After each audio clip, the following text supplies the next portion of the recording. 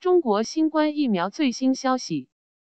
国药新冠疫苗保护效力百分之七十九点三四。西方媒体质疑武汉感染新冠病毒总人数同中方公布武汉确诊病例数存在出入。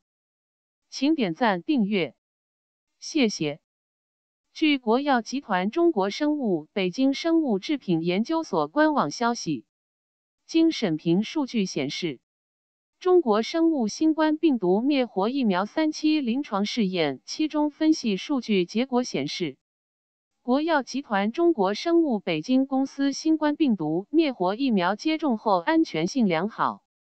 免疫程序两针接种后，疫苗组接种者均产生高低度抗体。中和抗体阳转率为百分之九十九点五二，疫苗针对由新冠病毒感染引起的疾病 （COVID-19 杠幺九）的保护效力为百分之七十九点三四。数据结果达到世界卫生组织相关技术标准及国家药监局印发的新型冠状病毒预防用疫苗临床评价指导原则试行中对于保护效力百分之五十的标准要求。目前，国药集团中国生物北京公司已正式向国家药监局提交附条件上市申请。在十二月三十日的中国外交部例行记者会上，法新社记者提问称，中国国药集团今天发布了有关新冠灭活疫苗数据，结果显示疫苗的保护效力高于百分之七十九。请问中方何时会公布其他新冠疫苗的有效性数据？第二个问题，中国疾控中心近期发布了全国新冠肺炎血清流行病学调查分析结果。根据有关数据推算，武汉感染新冠病毒的总人数同中方公布的武汉确诊病例数存在出入。你对此有何评论？中国外交部发言人汪文斌称，有关中国疫苗有效性数据以及何时公布的问题，请你向有关企业询问。关于第二个问题，我想你可能搞错了一个概念。中国疾控中心近期公布的血清流行病学调查结果发现，武汉地区的社区人群新冠抗体阳性率为百分之四点四三。这一数字高于截至二零二零年三月底武汉报告的确诊病例发病率。这种现象并非中国特有，开展过此类调查的其他国家公开报道的调查结果发现，调查得出的抗体阳性率估算的人群感染率均高于当地报告的发病率。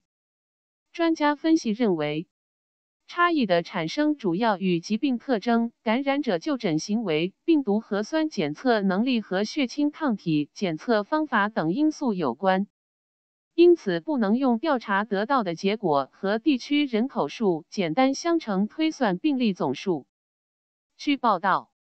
中国疾控中心二十八日发布全国新冠肺炎血清流行病学调查和分析，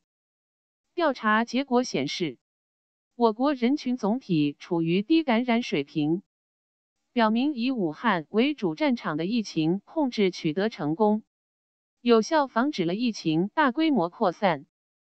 本次调查是国内首次对不同流行水平地区基于人群的大规模新冠血清抗体阳性率调查。此次调查旨在了解新冠肺炎不同流行水平地区普通人群新冠病毒感染情况。加深对新冠肺炎感染特征的科学认识，评估我国疫情防控效果。调查涵盖三类地区，包括武汉市、湖北武汉之外市州，以及湖北之外六个省份：北京、辽宁、上海、江苏、广东和四川。采用抽样调查，设计选取社区人群三点四万余人。通过检测调查对象的血清新冠病毒抗体，估计人群中新冠病毒的感染水平。调查采用横断面调查方法，调查时点选取我国遏制第一波新冠肺炎疫情的一个月后开展。调查发现，武汉地区的社区人群新冠抗体阳性率百分之四点四三，湖北武汉外市州抗体阳性率百分之零点四四，而湖北之外六省份的一点二万余人中，仅检测到二例抗体阳性，阳性率极低。